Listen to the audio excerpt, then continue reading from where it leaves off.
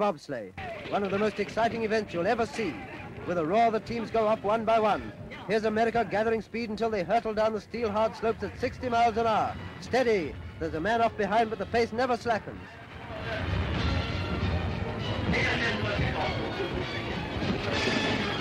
Here comes the Bayern curve, the most dangerous and the most...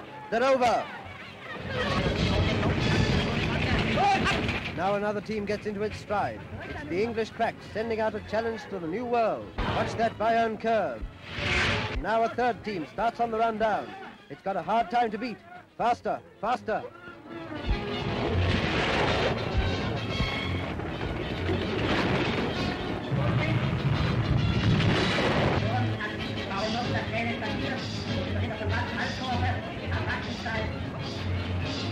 Here they come to that dreaded curve. Look out there!